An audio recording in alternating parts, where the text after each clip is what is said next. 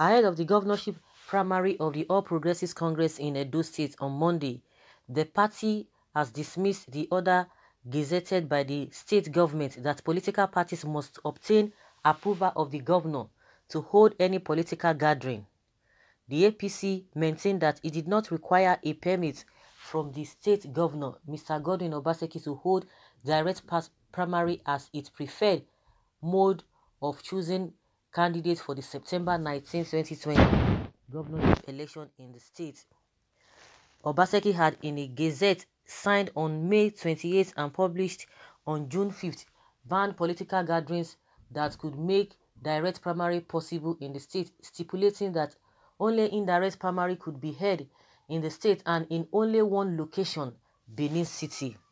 The other partly reads that in respect of political gatherings for the purpose of conducting primaries for any of the parties desiring to feed candidates in the forthcoming gubernatorial election, gatherings of more than 20 persons may be allowed, subject to the written approval of the governor. If such gatherings do not exceed 5,000 persons, hold in Benin City and in a single facility with a large seating capacity of not less than 10,000 persons are provided with adequate health, safety and sanitary facilities and are COVID-19 response compliant with social distancing policy, hand washing and proper use of face masks fully observed.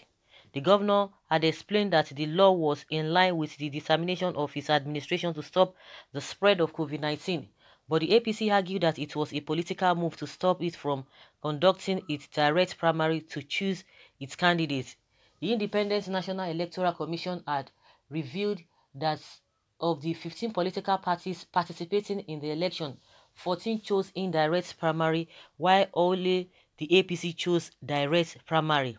But responding to Sund Sunday Punch's inquiries on Saturday, the APC acting national chairman Abiola Ajimobi, who spoke through the national vice chairman South South Hilliard Eta, said in a telephone interview that the APC as a law-abiding party believed that only the federal government was currently empowered to enact the kind of order Godwin Obaseki gazetted. He said, under the law, as it is operational in Nigeria today. It is only the federal government that has powers to make laws under a pandemic such as the coronavirus as we have it today. The gazette that Obaseki has signed says not more than 50 persons can gather. In any case, since we now have only one aspirant left, we don't have to have any permit to conduct our affirmation.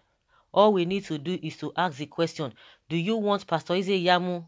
Yes or no, finish. If E. Obaseki likes, let him say people should not gather at all. We will do the affirmation in the various houses of our members. One of our correspondents had also gathered from sources that the two other aspirants cleared by the party screening committee, Osaro Obaze and Dr. Pius Odubu, had withdrawn from the primary leaving only Pastor Ize-Iyamu in the race.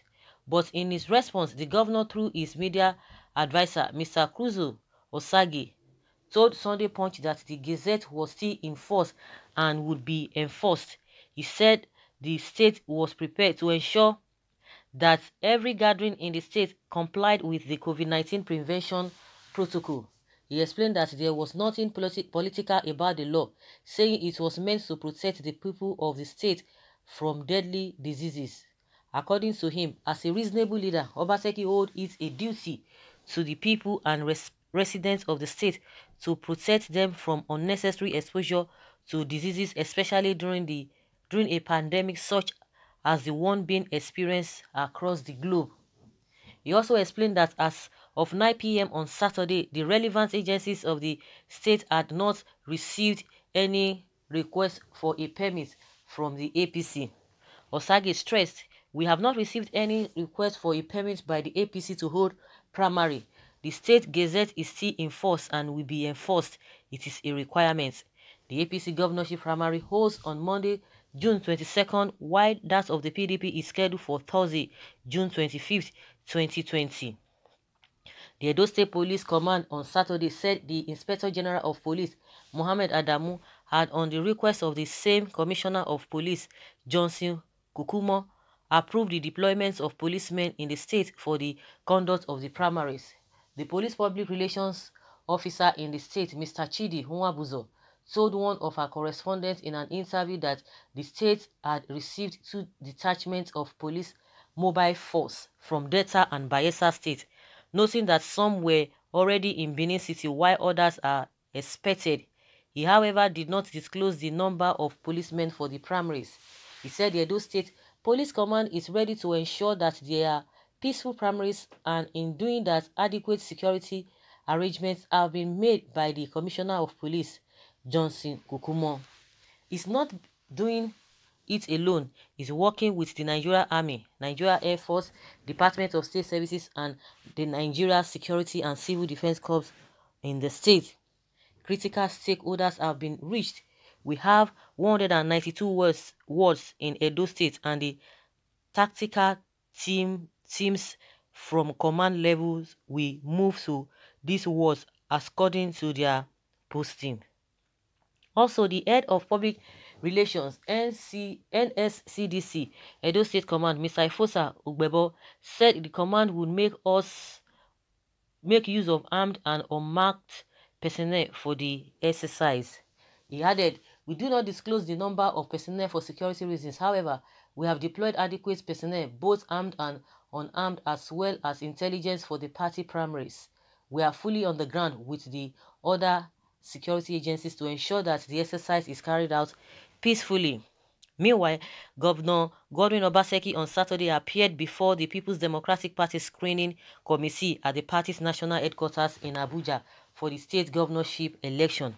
Obaseki, who was disqualified alongside two others by the APC screening committee on June 12th over what the committee termed as discrepancies in his names and certificates and for taking the taking the party to court to hold journalists after the exercise that he presented copies of his certificate to committee. Hmm. Asked the certificate he presented to the committee, the governor said the screening was fair. It was very professionally done. Uh, you could see objectivity and I presented all my certificates, my secondary school, higher school, university, and my National Youth Service Corps certificate so that they can look at it and see if there are consistencies in them. And you can ask screening committee if there are any inconsistencies inconsistencies on in any of them. The people's democratic party governors forum has assured obaseki and his supporters that the party will provide a level playing feed for them as they extend their support for him. The forum led by Governor Aminu Tambuwal of Sokoto State in a statement by its Director General CID Maduabum in Abuja on Saturday wished him success. The statement said, we welcome you to the PDP Governors Forum under the leadership of His Excellency Right Honorable Aminu Waziri Tambuwal, CFR and all other PDP governors in the forum. Your entry into the PDP family is a welcome, is a is a homecoming to a democratic platform that accommodates all Nigerians desirous of good governance, accountability, and deepening of democratic tenets. Hmm. So, guys, I think uh, the main thing here is uh, that is that it's only uh, Eze Yamu that is left in APC to conduct uh, this uh, primaries, and I don't know, maybe they, that means there will be no primary if there's nobody he's contesting with.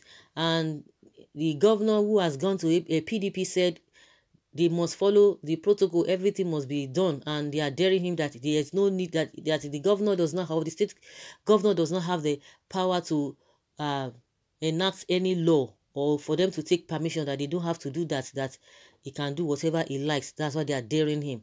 But uh, one thing I just want to ask, if we look at PDP and APC, of course, people have been saying they are same, same. There's no difference between the two parties because they are like brothers and sisters. They can move anywhere. If your brother offends you, you go to the other side. If your uh, sister offends you, you go to the other side. That is how they have been ruling.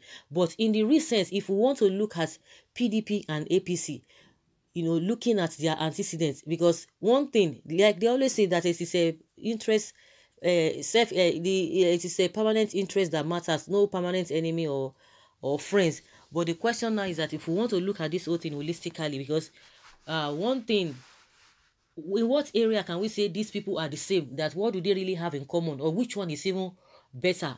I would like to know in the comment section because looking at these people, because one thing that we all the the, the uh, people always accuse a PDP of is this corruption, and they are we now both to say that oh there's no corruption in APC, and if this one is better if apc is better or pdp is better in what area can we say oh this this one is much better? Of course like they always say that uh, among the two evils at least you'll be able to choose one.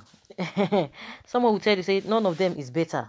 That nigeria should go for third phase third force or third uh, party okay someone says uh, it is all it is it's all over for apc in edo state obaseki will soon know where power resides of course, Buhari is too soft. Can any governor try Obasanjo and his party when he was president? Okay. Uh, someone else replied that uh, attire for the, that our president to too soft. If Obaseki is, a, is man enough, let him allow APC to hold their primary.